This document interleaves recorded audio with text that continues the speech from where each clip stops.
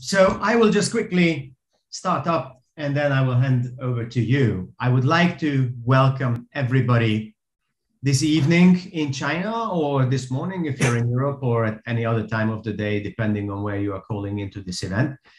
My name is Gabor Holch, and I am the convener of the Royal Asiatic Society China History Club, where we are very happy to welcome back Paul French, who has actually been with us twice before, but he never runs out of ideas that are worth presenting here. I think that to most of you, I don't need to introduce the Royal Asiatic Society China anymore. If um, you would like me to do so, then we can use a little bit of time at the end in the Q&A, but you probably know that we are passionate about spreading ideas and inviting speakers regarding anything China and Asia. And we have a couple of different types of events. The History Club is one of them, but we also have uh, arts, urbanism, fiction and nonfiction books, and then we have um, um, lovely collection of events uh, called Stories of Things. So, if you are in Shanghai, I think um, it is a, a, uh, great place to hang out and uh, discuss China and Asia issues with like minded people. But increasingly, we are also there wherever you are with the internet because uh, quite a few of our events went online. And also, at the end of last year, we started a YouTube channel where you can uh, see quite a few of our events now, including, uh, as far as I remember, at least one of uh, Paul's previous appearances at the History Club. So I also think that um, those of you who are here already know uh, Paul French, but I will just say a couple of words about, well, out of the many things that he does, the one that is most relevant to us is, is authorship. So just mentioning the books that I personally uh, read and reread every now and then um, are the ones uh, Destination Peking, Destination Shanghai, Midnight in Peking, City of Devils. Then there is the um, uh, Bloody Saturday that I think came out very recently as a, as a new edition, second edition. Do I remember that correctly, Paul? Yes. And some of the books I think are quite addictive for the for the very reason that this talk and Paul's essay in the 2021 Royal Asiatic Society uh, China Journal is so immersive is that they give us a three-dimensional picture of China or the part of China in question in, in, in, using all of the senses that we can imagine. So it's not only about events, it's not only about characters and people and the big picture, but it's also streets, encounters, smells, noises, what people bought, what people were worried about, how they paid their taxes, and everything else. It is it is always a fascinating journey, and I'm very much looking forward to Paul introducing pulp fiction and 1950s Shanghai today. Thanks, Gabor. Thanks, everyone. Sorry, my personal camera seems to be on the blink. So um, I'm afraid you're just going to see an advert for a BBC Radio podcast that you can still download wherever you get good podcasts if you're interested in Peking history. Um, I'm going to talk though about pulp fiction. I, I have always read pulp fiction, and Shanghai, you know, sort of as a kid w- was always part of that pulp fiction. It pops up everywhere. And then in lots of later work that I've done, I've sort of taken lots of elements of pulp fiction in terms of storytelling. Um, and, and also then, of course, thought about so when you read all this pulp fiction, and particularly the stuff about China and especially the stuff about Shanghai, um, how much of it is real? How much is it just someone sitting in a room somewhere in the middle of America writing something? And how much is it someone who's writing from experience? And so trying to research back on some of the writers of pulp fiction is sort of um, uh, quite interesting. And I think the, there's a lot of pulp fiction on on Shanghai and China, and I'll I'll run through the history of it a little bit. But really, that that comes in the 1950s is is really the stuff that I think is the best and the most interesting, and also because it gives us um, an insight into what is normally called kind of interregnum Shanghai So of course there's a there's a revolution in 1949.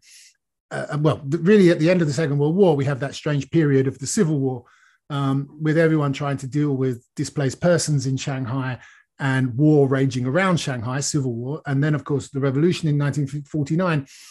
And then everything doesn't change overnight. There's still sort of in the early 1950s, you know, there's still gangsters, there's still opium dens, there's still sailor bars, there's still uh, white Russians, but they're now called displaced persons under the new UN classifications. There's still refugee Jews, and those people are trying to find new homes and new countries to go to.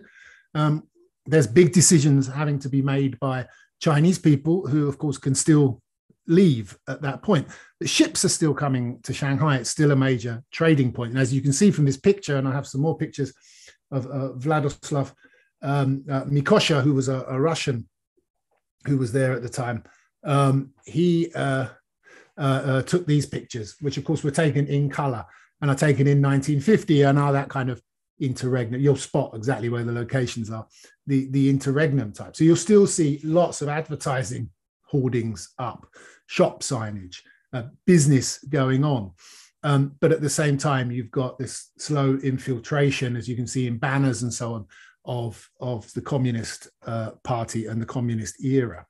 So, so the kind of books that were written at the time are quite interesting as well because we don't have a massive foreign press corps there at the time. And the newspapers of the Shanghai, North China Daily News, uh, China Weekly Review, China Press, are either going out of business, about to go out of business, or really have slimmed right down and aren't able to report quite as freely as before. Foreign journalists were getting quite a lot of hassle. Most were leaving, starting to go to Hong Kong, um, not not hanging around in in the new sort of communist China. So so this is the kind of Shanghai that that some people then decide to write about. It's still somewhere that's seen as a thrilling adventure. It's not yet somewhere. Um, and in the later 1950s and the 1960s and 70s, of course, we start to see Shanghai and China drop out of pulp fiction because it's just not somewhere you can feasibly visit anymore. The bamboo curtain has fallen, so it doesn't happen. There's always been pulp fiction around China.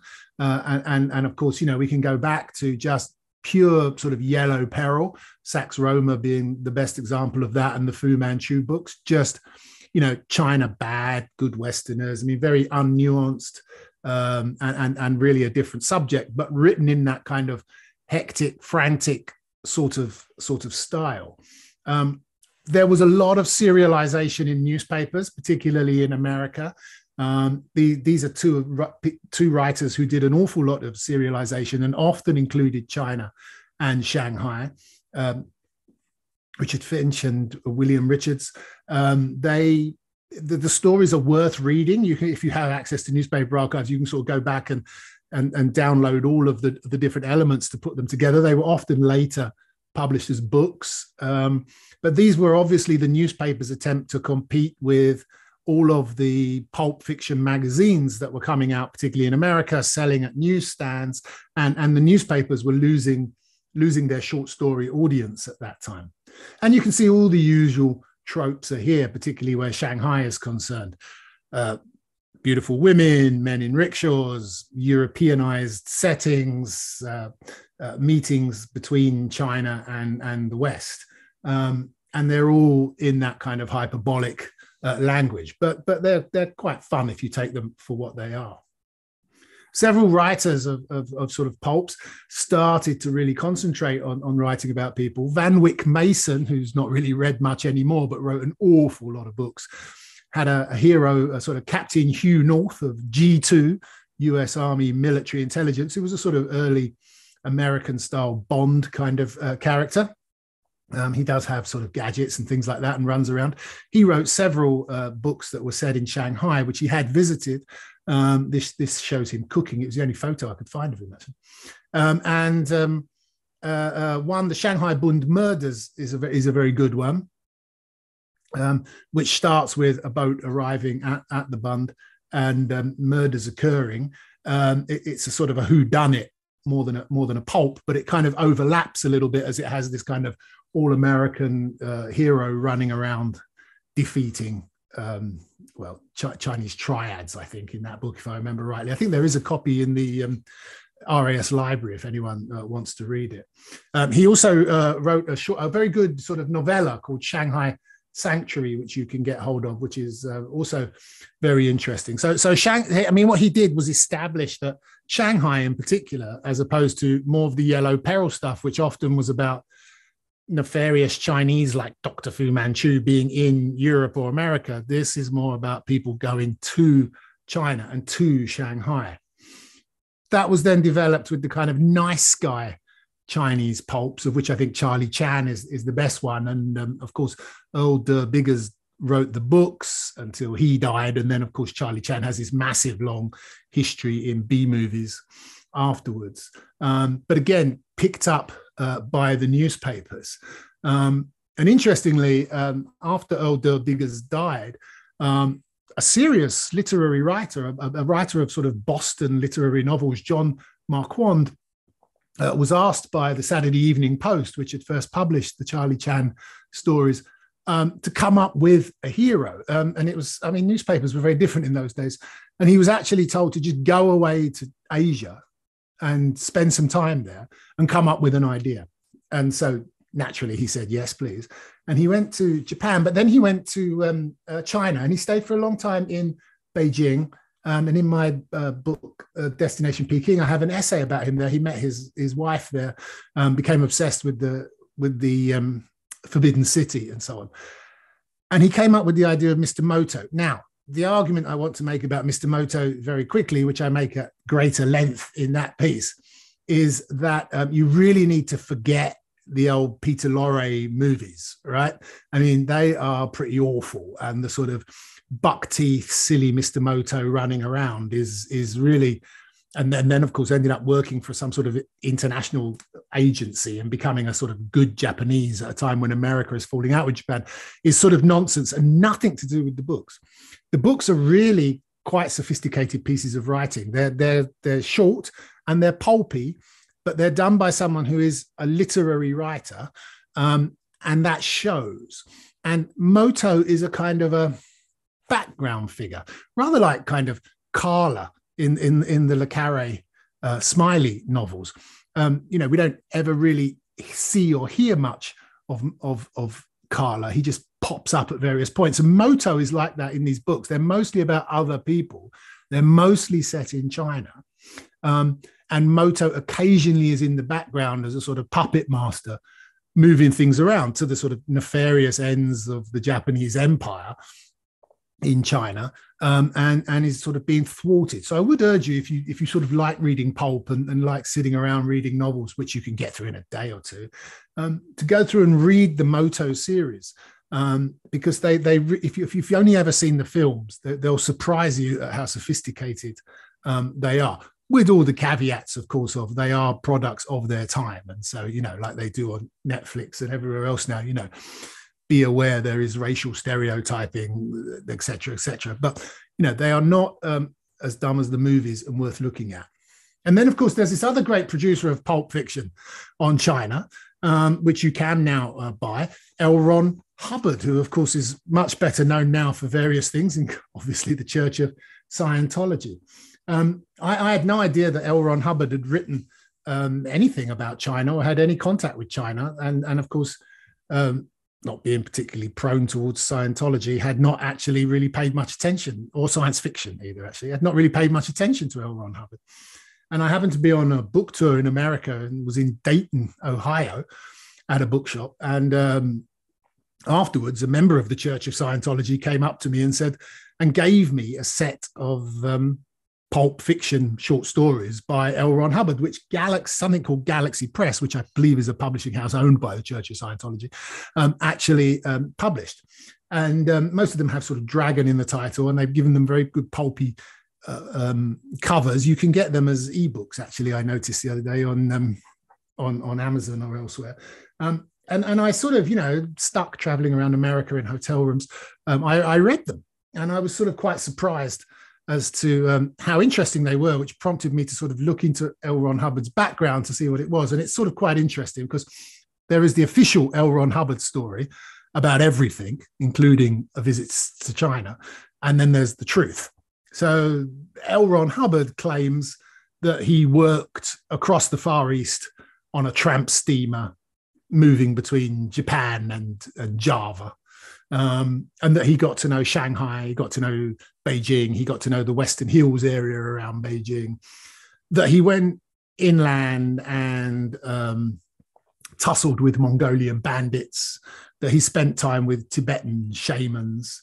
Um, and he claims to have met a character called Major Ian McBean of, of the British Secret Service in China. Um, now, of course, many of us have pointed out to the Church of Scientology that no such character as Major Ian McBean actually exists, which, of course, as you might expect, they would reply, well, he was a British intelligence officer. So, of course, British intelligence would deny his existence, right? And L. Ron Hubbard remembers him. But there does not seem to be any other, anyone else who recalls Major Ian McBean, uh, with whom um, Ron, L. Ron Hubbard claimed to have fought Cantonese pirates at some point. The truth of the story is rather less prosaic. Um, in 1927, he he did sail to Guam um, with his mother, with his mum. He went with his mum. Um, his father was stationed at the U.S. Naval Base on Guam, and he did transfer ships in Shanghai. So had a bit of a day trip. In 1928, he revisited his dad and he did take a side trip, as many people did when, when boats went through Tianjin um, to Peking with his parents and did do a trip to the Great Wall. So he did go to China and he did have a look around and he was obviously interested in what was going on there. Um, and most of his uh, books, uh, most of his pulps are usually set around the sort of time of the Japanese occupation of Manchuria, the annexation of Manchuria and the creation of Manchukuo and he actually he has all the sort of usual things that you'd expect. He has white Russian femme fatales. He has Soviet spies, British intelligence guys running around, brave Americans, of course, triumphing over everyone. Um, Soviet interference, Japanese interference in in China, um, and most of his history is actually pretty good. Um, and and he gets a lot of that right. So um, if you like reading a bit of pulp and L. Ron Hubbard intrigues you, um, he is there if you want to have a look at him. Anyway, let's come on to China Coaster, which I really think is worth a read.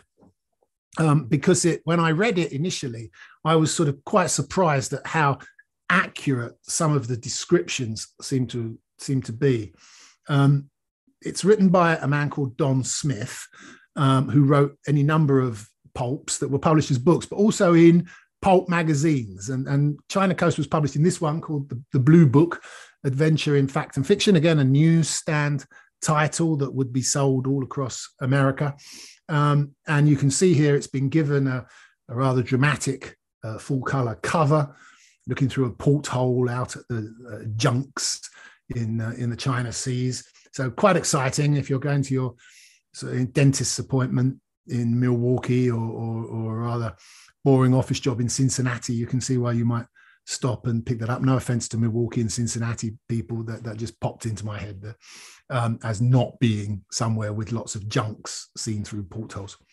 Um, and then the book comes out. Over the years, it has several um, uh, covers, mostly uh, quite uh, salacious um, and uh, uh, quite exciting. It's, um, I guess, the, the thing the basic story is is is a, a, sort of a rolling fast moving pulp story about an all American six foot three inch hero called Michael O'Connor, um, who has kind of been knocking around China for a long time. And now that there's been this revolution, he's deciding to bail out and head back to, well, not to America necessarily, but down to Hong Kong. But he ends up being sort of uh, shanghaied. Uh, the boat is literally kidnapped and he is taken up to um, Qingdao, where he manages to escape. There's some machinations there and get back to, um, to Shanghai. And the Shanghai that Smith describes is, is, is, is pretty interesting.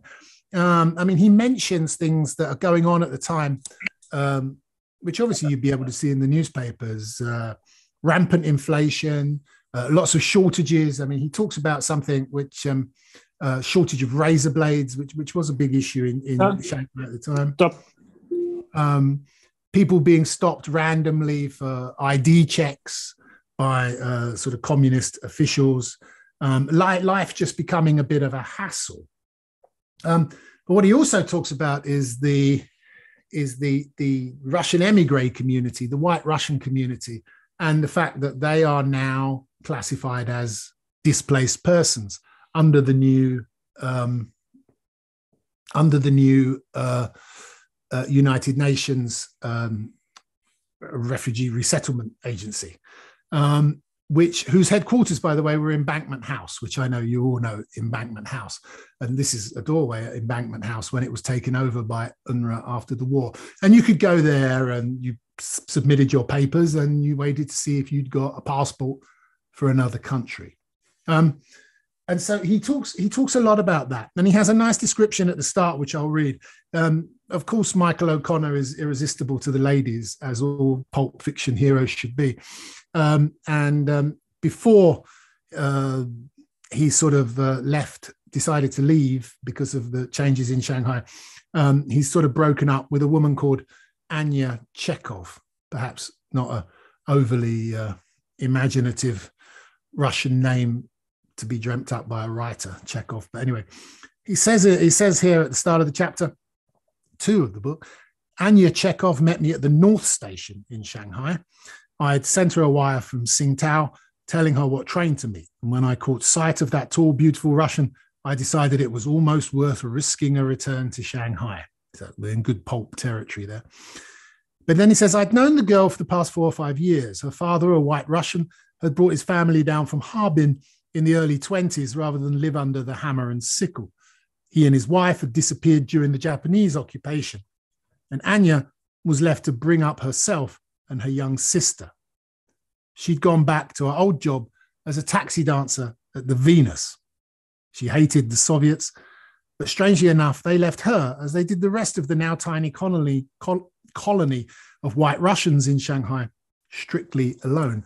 And I think that's a nice sort of, of, description, and it shows a sort of an awareness of of the changing situation, but also the, the slightly odd situation of the, um, the, the the Russian emigres in in Shanghai at that time. Um, he then goes on uh, uh, to talk about um, uh, Anya Chekhov and other white Russians who he sort of hides among, um, living on Wayside, which is of course Huoshanlu which many of you will know uh, over in Hongkou, Tilanqiao um, was part of the Jewish ghetto, um, was under Japanese control, and of course was before that part of the what was generally called the Japanese concession and the edge of what was also known as Little Tokyo over in that area. Huoshanlu Wayside is very interesting. I mean, um, in the 1920s and into the 1930s, it's, it's, it's you know, the architecture there, it's Western style architecture. Um, it had been a very Russian area. It's always been a working class area, and it had always been it been quite a Russian area. In fact, at one point, um, some of the Russians there were poor enough that a Russian entrepreneur bought up a load of um, disused uh, trolley buses, sort of tram cars, that, that one of the tram companies in Shanghai was getting rid of and he put them on a sort of a laid them on a if you see a sort of a lane here between two houses he, he put them in sequence down the lane and and rented them out as accommodation um, specifically two russians um, who could not afford rents on on the sort of apartments that you see there on, on those pictures which of course you're familiar with so it was an area that traditionally had been quite poor um, russians often ran bars and restaurants along there. It was patrolled by the Shanghai Municipal Police Eastern District. Um, there was a police station nearby. Um, it was well known for uh, fights breaking out, uh, lots of drugs being sold, illegal, illegally brewed booze being sold. I mean, everything went on. It was a sort of a unique mixture of the white Russian emigres trying to make a living, and, and that often being bars and restaurants, but often also prostitution and so on. But it was also, and it was an area that that Shanghailanders went to to sort of see to slum it, if you like. Um, but it was also an area that um, visiting seamen, merchant seamen, and and navy sailors would go to as well, knowing that they could get all the things that sailors ashore like to get and expect to get in, in Shanghai in the 1920s and 30s. Then, of course, in the late 1930s, it became um, very much uh, associated with Jewish refugees, and many of the businesses there, as you can see in that picture, were taken over by Jewish refugees. Then, after the war, uh, then during the later years of the war, a lot of it was then taken over by Japanese, um, who sort of um, ran various bars and places. When they were kicked out, and they were all gone by kind of mid 1946, really, with repatriations, the Russians kind of moved back in, and so many play, many of the flats and apartments above the shops and the shops below became bars, shops, restaurants, cafes, and so on for the Russians again. Um, it's obviously somewhere that, that Don Smith knew. Um, he writes, uh, We drove out to Wayside. The car turned in an alley and drew up behind one of the shabby old foreign built houses typical of that district. I paid off the driver and followed the girl in the back entrance and upstairs to a small room on the third floor. I closed the door, slid the bolt across, and for the first time in two days, relaxed. The room faced the front of the house, and I threw open the shutters to ease out the stench of cheap perfume. That's a very pulp fiction motif there, cheap perfume. It was overstuffed with rickety Hongkou furniture the only solid looking piece was an enormous double bed, part of the necessary equipment, I gathered, of the successful Shanghai cabaret girl. Well, well, there we are, of course, uh, introducing sex as well as we can in the 1950s. Um, so Don Smith is writing about Wayside. He's brought in there that she's a dancer. She's, she's living there of slender means, um, and she's a dancer at the Venus, all interesting places. Um, just quickly to go back to Don Smith, I should explain that what after reading that and thinking about what he has to say, he also has many other parts of, Shanghai that he just alludes to, but they're ones that any anyone could have done at the time. You know, coming out of the Palace Hotel, looking at the Cathay Hotel, walking on the Bund. I mean, anyone who'd read a newspaper could do that. Um, Wayside is a little more tricky to do. He also has one section where he goes to uh, Minhang, um, and he describes Minhang in some detail. I'm not going to go into that because um, Minhang then and Minhang now are so awful that I'm not going to really mention them. Although maybe slightly better then. There was a sort of a yacht club out there. I think if, if they've still got the racket club out there, I seem to remember. But um, um, he does. So he just, you know, I don't think that uh, you didn't know Shanghai. Minhang would hardly be somewhere that you'd sort of throw in into the mix. It's not really in the guidebooks. Um, so the truth was that, that Don Smith had indeed been a newspaper man in America and had um, spent time for various newspapers and wire services in Shanghai um, before the war. So he knew the pre war Shanghai. Um, he then um, came to, he was born originally in Canada, moved to the United States, but came to England in the war where he was involved in um, the Royal Air Force. Um, and then after the war, really concentrated on being a, a pulp fiction writer. So what I think is happening here is that, of course, he's he's remembering places like Wayside that he knew before the war, and he's kind of obviously up on what's going on in Shanghai, and so he's creating um, the, in his head and, and on the page the, um, the, the, the places that he that, that he can, um, you know, the the post-war changes that have happened. Um, the Venus, of course, was was a real uh, nightclub. If you've read my book City of Devils, you know that it's in there quite a lot, and and, and it was run by Sam Levy, who who actually gets a, a, sort of an acknowledgement in the book in the sense that it's mentioned of the kind of Jewish boss of the Venus Cafe. He ran it for an awful long time, and and he ran it for a long time with a woman called Gergi Moalem, um, who I think was a second cousin or something of his. Um, and they ran it together and, until they had a slight falling out. When the, it, it was very, very successful. Um, it was on um, uh, North North Sichuan Lu, as you can see here, up near the Isis Theatre, a real little centre of entertainment on the North Sichuan Road. Um, it was it had jazz. It stayed open very, very late. Um, it was a kind of a um, a, a very popular place um, for, for, for people to go. You'd think it was slightly off the beaten track. It was not in the top tier of nightclubs, but probably was all the more fun for that. So it wasn't sort of Ciro's or the Canidrome or the Paramount, but it was it was it was a couple of notches down, and so therefore probably less snobby and more fun. Um, Gurgi Moallem and Sam Levy fell out, I think, at some point before the Second World War. She married a British guy. So when the war came, she went with her husband into um, internment, one of the internment camps. Sam Levy stayed outside of um, internment. Um, he was technically an Iraqi Jew, um, and so he was not um, interned. Um, there's a picture of him here. This is this is the whole sort of family and clan that were around the Venus uh, Cafe. He's the sort of um, guy with the jacket and tie and slightly bald head in the, in the middle there. Um, Sam had an interest in. He suffered quite a lot during the war. It was very tough. I mean, he he spent his time around places like Wayside and and North Sichuan Road and that that part of of, the world. Um, and then eventually afterwards, because he had been a nightclub host, and this is the problem that Anya Chekhov in the book has as well, is when you went to the United Nations and you said, well, I, you know, I'd like a, I'd like to go to America or I'd like to go to uh, Britain, which usually meant you were sent to Australia, um, or, or, I'd like to go to somewhere else. Brazil, for instance, took in a lot of uh, Russians.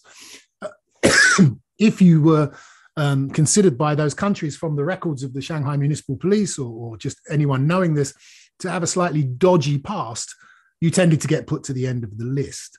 This is Anya Chekhov's uh, thing because she is working as a taxi dancer and a cabaret girl, and it's alluded to sort of casual prostitution. On Wayside, her chances of getting an American passport are tougher. Um, Sam suffered the same for being associated with a nightclub in which, if you read City of Devils, you'll know many figures of sort of foreign organized crime in Shanghai uh, patronized. And so he went to the end of the list. And in the end, he did, uh, when, when it just became impossible in the uh, early 1950s to stay in Shanghai anymore, he eventually went to Palestine um, and um, eventually became a citizen of the state of Israel. Um, just before moving on, I want to um, uh, uh, talk about one other place, which I don't have a, a, photo of, but it interests me very much. And this is um, this is um, where he talks about. Uh, oh, hang on, I just I, I know what, what's the name of the road. Um, Tiantong Road now. Yes, no, and and Nanshulu, which are both in um, Tiantong is, is a big road, obviously that runs through um, uh, uh, Hongkou, and and he has a lot of descriptions of the pawn shops along that road, which were catering oft, often, of course, to Russian refugees and Jewish refugees as much as they were to the Chinese. I mean, he has a very good description of those, and that indeed was a street that was lined with pawn shops at that time. And he also talks about Nanshulu, which is a much smaller road um, over in Hongkou, which which did become known for. Um, it was sort of the last place in Shanghai in the interregnum period that had um, opium dens. And by that time, of course, um, other drugs coming in as well.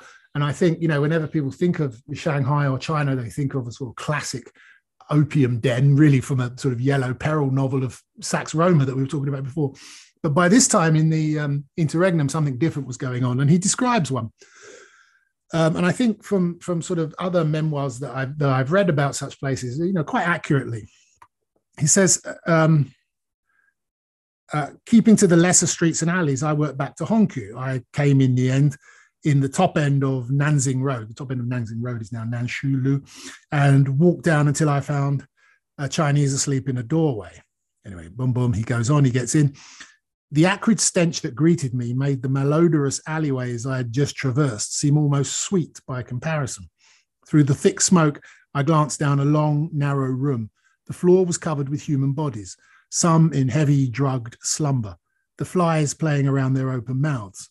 Others, crouching head to head, were smoking opium or injecting heroin into their flesh with crude, homemade hypodermics. A meager light was shed from the dozen or so candles shoved into bottlenecks and standing on low tables or boxes. These candles were not there for lighting purposes, although they had to serve. They were being used for cooking the, the dark brown pellets of opium. And above the low hum of conversation, I could hear the sizzling and bubbling of the drug as it was prepared for the pipe. Now, that, as, as someone who's obviously interested in low life endeavors in, in Shanghai, interests me greatly because it shows um, the, the widespread use of heroin in Shanghai at the time, which is something we do know was really happening. Now, this had started happening before the war. or, or, during the days of the solitary island when importation of, of opium in its raw form became quite difficult due to the war. Um, in in Midnight in Peking, you, will know that I talk about the Badlands there, and and the, uh, during the sort of uh, just you know late 1930s, um, various foreigners described the main drag through the, the Badlands, the red light, the foreign red light district of, of Peking, as Heroin Alley, which indicates that heroin was already there by that time. And there were signs of it in Shanghai as well. I was recently reading an article um, from 1940, and it was the last big seizure of illegal drugs in Shanghai by the Opium Suppression Board before the fall of Shanghai after in 1940, late 1941. And um, among that, as well as some raw heroin, was large amounts of, um, of, of, manufactured, uh, some raw opium, sorry. There was large amounts of, of heroin and large amounts of stolen um, syringes that were um, stolen from hospital supplies and so on to supply um, addicts who, who were injecting. So, so the old notion, which is sort of described there, which could come from Fu Manchu or from Sax Rohmer of a classic kind of um, opium den in China or in you know the Lower East Side of New York or Limehouse in London or wherever, is still there. But in there, of course, is this injection of heroin. I'm not quite sure about homemade hypodermics. You might have taken a little bit of an extra leap there, but um, certainly this was something that was going on in Shanghai at the time. And I think um, it's little um, touches like that that make um, China Coaster a very, very um, good book worth reading. Um, so just to carry on a little bit, I mean, really after China Coaster, which by the way is published in 1951, um, there really isn't that much more covering Shanghai and China that's really worth reading or, or even published much after that. Um, I would note um, Steve Dodge, great name for a uh, pulp fiction writer, did a book called Shanghai Incident. Um, and that was published in 1953. Um, but it's set in 1948. So it's set right on the cusp of um, the revolution. And Steve Dodge, who, whose real name was Stephen Becker, as you can see, he used it slightly later on in his career, um, uh, did also know Shanghai, but knew pre war Shanghai um, and, and, did again visit Shanghai in about 1947, 1948 as a journalist. So although it's published in 1953, he does he does capture much of that um, kind of world of interregnum uh, Shanghai of rapid inflation, of everybody trying to get out, of everybody trying to make decisions, of the sense of this incredible sense of an end of an era and a new era beginning. China Coaster is more interesting from an interregnum point of view because we're two years into um, the People's Republic of China, and so so it's a, it's a sort of a useful document in terms of what's changing, what hasn't. Um, as the sort of 50s progress and then into the 60s and 70s, it's kind of um, that, that things are still China still pops up in pulp fiction a little bit. Hong Kong becomes more of a, a feature, Macau a little bit um, and many of them become kind of um, uh, more Cold War thrillers than the kind of um, pure pulps with just everybody bouncing around having fun. I think eventually China, as it closed off more, and as as as the time as as the years moved on away from people who sort of remembered going there or remembered that older pre-war Shanghai, um, audiences sort of lost people. New new locations came along that sort of enticed people. Um, Cold War spy novels with the Soviets always worked well because, of course, you know, it, it, it's all white people, and you can kind of have a a trained American or, or Brit or whatever dropped into Moscow and sort of walk around in a way that they just couldn't really um, in in Beijing or, or, Shanghai at that time. Uh, Korea, of course, because of the war, becomes a feature. I mean, again, in um, in my book Destination uh, Peking, I, I, write a little bit about Harry Hervey, who was the actual original um, writer of um, Shanghai Express, the Marlene Dietrich film. But later on, he he is trying to develop pulp fiction that is no longer about China because it's just closed off and it's it's very hard to place anyone there. And he starts writing a lot about Korea and around the Korea at the time of the start of the war, the Korean War. So again, you know, pure 50s sort of location. And they move on to other places. North Africa comes up a lot, Morocco, locations like that, the Caribbean, and so on. Um, and so that's really uh, kind of um, the end of um, of uh, of pulp fiction and China. So I think almost, you know, I would say that um, China Coaster, if, if you're interested in that period, is worth a read. You can pick it up secondhand very cheaply, easy to get hold of. Um, and um, I think it's sort of um, an interesting read. I certainly get a lot from it. And, and the fact that he actually mentions real streets and real businesses, I think um, I find very useful when I'm writing to sort of think to myself, you know, how much am I making up here trying to do literary nonfiction and how much am I staying based in reality? And, and coming across things like China Coaster as, as another kind of source to put against guidebooks and memoirs and newspaper articles and so on um, is is is sort of useful. Anyway, I'll I'll leave it there, and if there's any any questions, I'll um I'll, I'll answer them. Thank you, Gabor. Thank you so much, Paul. Actually, the questions are already coming in. I will also take the prerogative to ask a couple of my own questions, but I think uh, the one that came in from Kit is a is a great start. So um, Kit is asking, are you interested in the pulp era of this era because it's a good read or because pulp is an accessible way to real history? Now, uh, at the same time as you're answering this question, I would also like to ask you, what if somebody would actually like to read these novels, but you know is not living close to a, a British secondhand bookstore? Is there any place where you can uh, read copies online? I I checked on Amazon, but I also I only saw secondhand uh, physical copies of books. So both of these questions, where can we read them? And are you interested in them for the literary value, the thrill, or the historical value? Well, I think um, as to where you can get them, yes. I mean, obviously, if you don't have secondhand bookshops, it's quite hard. And and there's a, I mean, there are ways of finding things online. Of course, you know, one one thing that I would always say with these books is, you know, if you're uh, particularly sensitive about racial stereotypings or language and so on. They are products of their time, right? Like old movies, um, and and so um, you know it's it's not that likely that anyone's going to reprint many of them. And mm. I'm always hmm. quite surprised nowadays when people reprint Fu Manchu, which, which does happen. Sax Rohmer does get reprinted. Um, nobody reprints Mr. Moto, and again, I think that's a shame because I think he, that that is a brand that's been tarnished by very bad movies. Good books have been tarnished by very bad films. Um, Charlie Chan again is similar to that, and um, Yunte Huang, who wrote a great book about the original origins of Charlie Chan, which go back to a, a Hawaiian Chinese policeman that old uh, Biggers knew, um, living in Hawaii. Um, I think I think would argue that the books are still worth reading, and there's there's about half a dozen um, Charlie Chan books, and then the rest is all just sort of Hollywood makeup. Um, and uh, so, so, so those films with their kind of silly portrayals and often actors in yellow face and so on, rather, rather obscure the original works. Um, where else can you get them? Well, so, so that's what I mean is no, no one's really um, reprinting them, which which is a shame. The only one who does get reprinted is L. Ron Hubbard, which you can get. Um, all of his um, as ebooks and, and hard copy books because there's a whole industry of reprinting L. Ron Hubbard for his followers. no, you don't have to be one of his followers to read these books. These these books are these predate his Scientology by by several decades.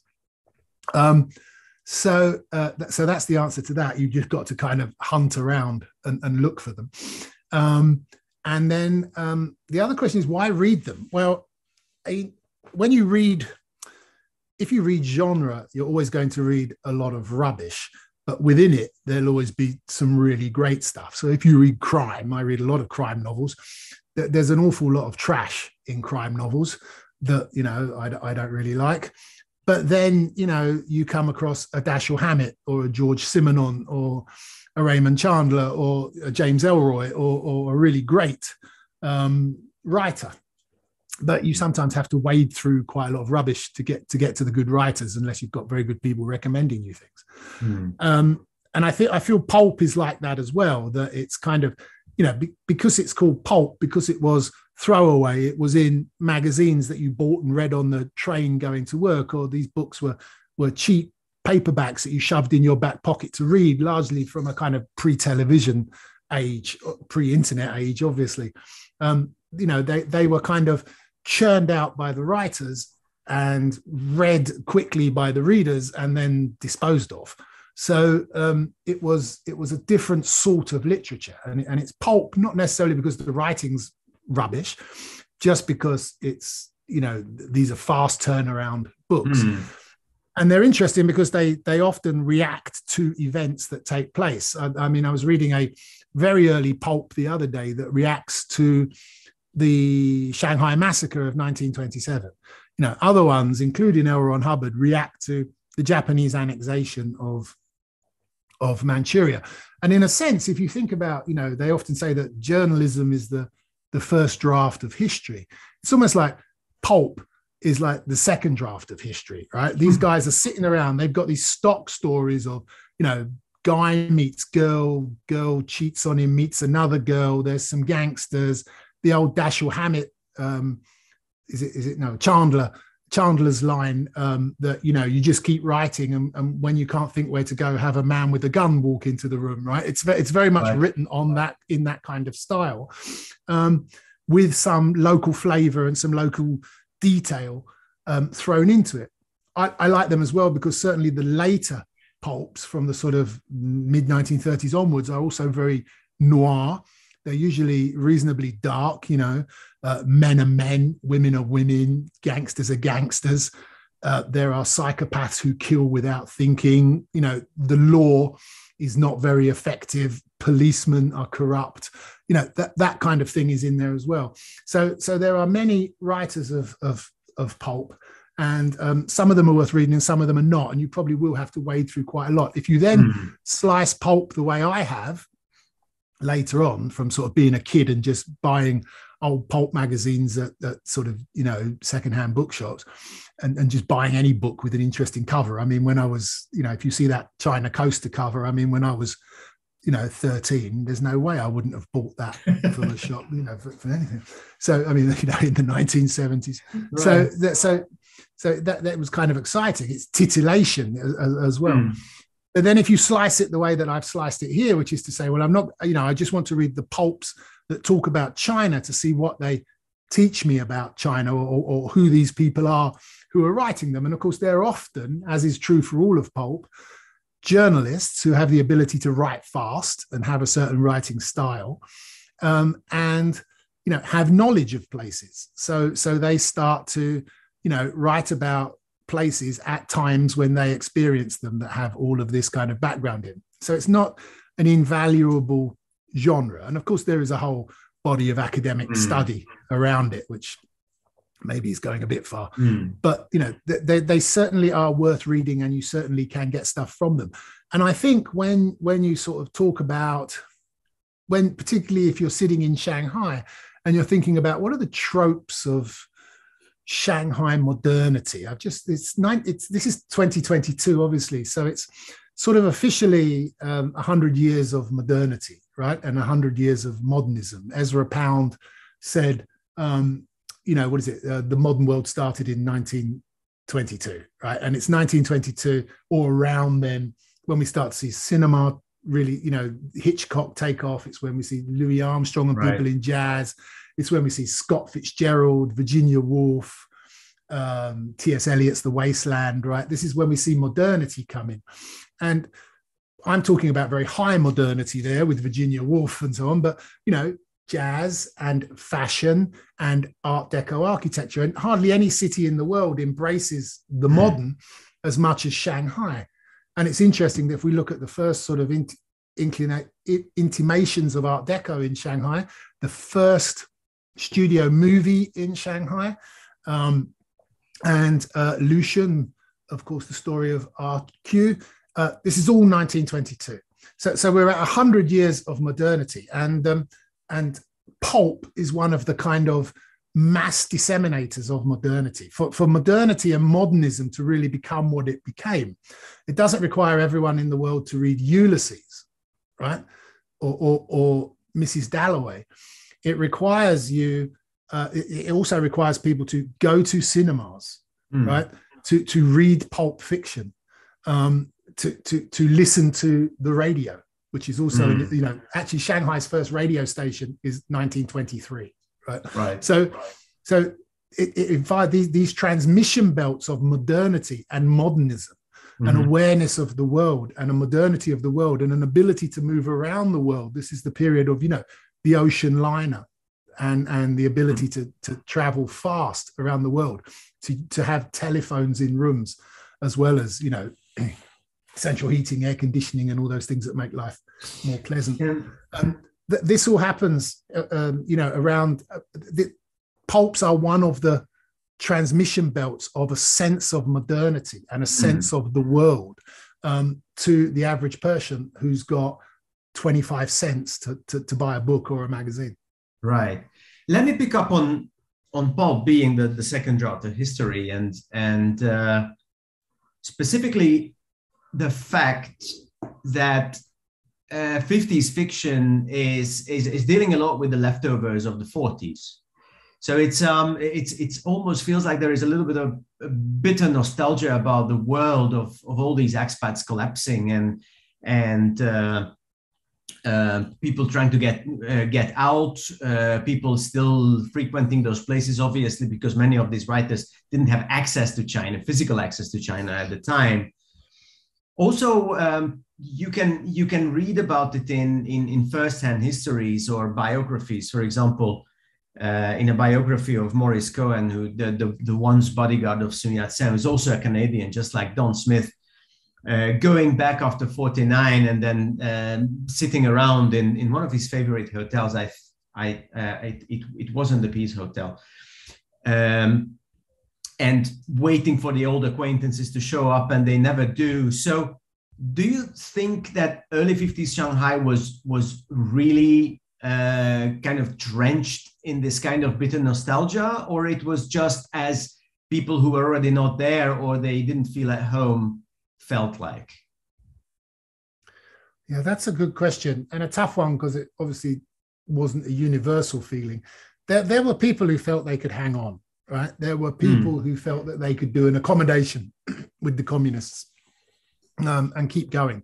So even in 1951, you've got the North China Daily News still being published. You've got China Weekly Review uh, being published by by J.B. Powell's son at that point.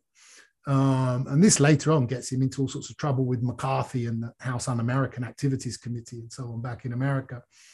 Um, on the other hand, you've got this large group of displaced persons who need to be who needs their situation resolved. Um, it's quite clear they're not going to be able to stay in China. They, they need to do this. And that process starts really in 1940, late 1945 and into 1946. And for many people, it's not, I wouldn't say an easy process, but it's not an overly complicated process. They apply to go somewhere, they, they, they want to go to America or, or they want a British passport or they've decided on somewhere else um, as I say, Brazil was another place that gave out a lot of passports. Um, that um, they they are going right, so they are packing up and going. And if you look, for instance, at the the the sort of former Jewish ghetto at that time, there are sort of regular performances at the Broadway Theatre, which is just around just around the corner from Wayside and so on, um, of you know farewell events, right? You know fundraisers for those that are remaining and a sort of goodbye as another ship leaves. Another ship goes to San Francisco. Another ship goes to Sydney. Another ship, you know, heads off to, to, to other locations, taking people away all the time. And this is true of the Russians and it's true of the Jewish refugees. By sort of early 1950s, you're really getting down to those people who are quite problematic to settle somewhere, right?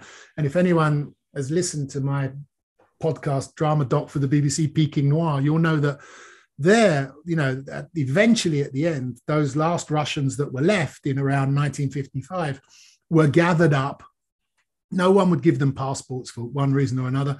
They were gathered up, taken to Tianjin, and from Tianjin, they were taken to the Russian border and they were handed over to the Soviet Union. And what became of them, we don't know. We do know that some some survived and married and lived on. We know others were, were shot at the border, apparently. So so when was getting down. Uh, was it was it well into the fifties or even later? Yeah, I think I think the last groups in Peking anyway were, were rounded up and taken to Tianjin. I mean, literally were rounded up. No, no, they couldn't find anywhere else to go, and they were handed over to the Soviet Union in 1955. Remembering that Was many that- of them were not people who'd ever been to the Soviet Union. Although the, the person I write about in Peking, I, I talk about in Peking Noir, was very actually interesting. That, that's Yes, very so- interesting. Was was so there a legal? I mean, was it was it a, a, written rule that there were no foreigners allowed in China at that time, or it's just simply that they were persona non grata because they were not rich, they they couldn't really look after themselves. yeah, well, the, the latter, I think. Hmm. So, of course- so of course, you know, some people were able to stay. Those that joined the party, right? I mean, you know, and, and those people, the so-called Right. round eye round eye gang, that sort of were able to to hang on. Hmm. Um, but you know, most didn't want to go. So, so by this point, and also, you know, you've still got some Chinese that are leaving, right? I mean, there's still people managing to leave to go to Hong Kong and, and elsewhere at this time. It's not a completely sealed down country. And of course, things don't always change. I mean, they do sometimes, but not always change overnight. So, you know, you you you can still find pictures like um, if you look at uh, Mi- Mi- Mikosha's pictures or other pictures from the interregnum period, you'll still find women in uh, qipao, right? You'll still Right. find women with with their hair, long hair tied up in high heels and so on. You know, you'll still find adverts for cosmetics. You'll still find adverts for Hollywood movies, right? I mean, there's there's still films coming in. Dis- all distribution agreements haven't finished. There's a there's a famous photo from I think 52 or 53 of a Clark Gable, Carole Lombard movie that's suddenly finally turned up, and the cinemas are, are showing it. It's like a about an eight year old movie by that time, but- Right. but, they're kind of showing it. So so these things still exist, and there's there's still kind of bars and there's still kind of restaurants and there are clubs. I mean, they're, they're not in a great shape, right? They're, they're not they're not particularly glamorous. They're pretty scrappy on the clientele and so on, but they're still kind of there. And so that that process of shutting down somewhere takes time, right? You know, I mean, it's Mm. just it doesn't happen overnight. It's not as sophisticated as that. You know, that that one day everyone's wearing a cheap and the next day they're all wearing a Mao suit. There is a process of easing people um, from one thing to another, and then at a certain point, pretty much all of the foreigners are gone. Pretty much all of the foreign businesses have either been commandeered or taxed out of existence or have just decided not to bother. And who's going's gone, and and then you get into a kind of period. There's then a kind of interesting thing that starts happening in Chinese cinema because, of course, you know the other thing that's that's lost at this point is the tradition of the Shanghai cinema studios. But there are new studios, of course, pro pro government, and they start producing large numbers of films. And there are uh, flick books and cheap cheap Chinese pulp novels being pushed out at this uh, in the, by the sort of early mid 1950s. And the great theme is foreign spies in Shanghai Hmm. right? And that's a whole other subject because it's kind of all in the all in Chinese.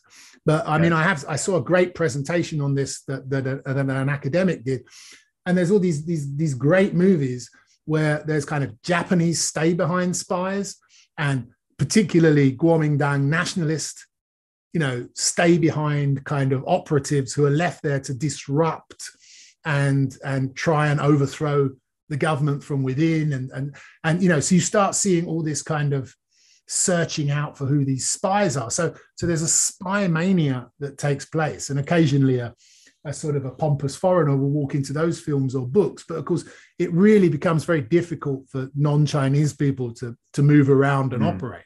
So that the fixation becomes you know okay how many chiang kai-shek's gone to taiwan. How many people has he left behind pretending to be one thing or another Right. but engaged in all sorts of sabotage and so on? And this and, and you know that becomes a major sort of theme of chinese pulp by Mm. the mid 50s Fantastic. Fantastic, Paul. The toughest thing about talking to you is stopping. Um, but and so there there were a couple of questions there was there was one question about about where uh, drugs that these people uh, took were produced there is one question just coming in right now but unfortunately well, they, our, were, our event were, is um, sorry i can tell you they, they were produced in hongkong hongkong had pill factories and heroin refining factories okay that were run and most of those had been set up by the japanese during the war to kind of keep drugs flowing through China, you know, right. and, and, and, everything. And they carried on. So, so it wasn't being Andrea was spot on. Yeah, that's yeah. right. That, that's exactly what the question was. That's exactly what the question was. Uh, I would I would like to, to, to slowly round up. Uh, there is one thing I would like to do. I'm I'm sharing a link to China rhyming right here because um, it is basically the the the, um, the blog version of what we are talking about here, and it's quite interesting. I mean, I mean, some people like to read rather than listen. Also, obviously, you can you can get some visuals out of it, get dates out of it. It also seems to me that that one of the commenters to, to this blog entry is actually uh, Don Smith's relative, and then she adds a couple of um, intimate details about his life. Also, I am I am pasting this in because I assume that through your blog post, people can reach out to you if they have questions that we didn't manage to to address here. So of course, um, I'm always happy to hear from people. Did I leave anything out? I mean, is uh, people who are interested in the topic, people who would like to reach out to you. Is there anything else that they must know at this point? No, my website's pretty good because um, it's got pretty much everything I'm doing. I'm doing a lot of radio work with the BBC around China at the moment, uh, Chinese history, and that's fun. I've got another uh, Hong Kong, Shanghai thing coming up on RTHK radio. I, I, kind of enjoy audio. It's it's it's very quick. Um, but no, I'll be uh, yeah. I I don't know what's happening this year, but um, yeah, next year I start on a big thing, which is I have a um, a trilogy of um, spy novels set in mm-hmm. Shanghai during World War II, which are which are fictional but often based on a lot of real characters and real people. So my publishers decided that they like they like the first one. So um, yeah, so I'm I'm going ahead with like those, which I think uh, yeah, are again another way of kind of espionage literature is another way of trying to look at Shanghai and all the various groups that were in Shanghai and all the various intelligence organizations that were working in Shanghai, as well as obviously what's going on with the Chinese themselves and the Japanese, but also right. British intelligence, French intelligence, the Russians, oh, just just everyone operating. Exactly. So I want to, um, yeah, I wanted to talk a lot about that. Um. So I thought fiction and spy novels would be the Excellent. sort of fun way to do that.